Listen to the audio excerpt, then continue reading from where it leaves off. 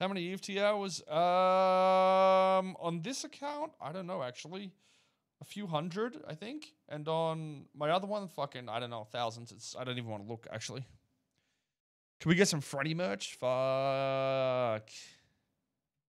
Maybe. A bobblehead Franny would be sick, actually. Like, you, you instead of it being a bobblehead, it's a jiggle ass Franny. You poke it and his ass jiggles. Hell yeah, dude. I'd actually want that.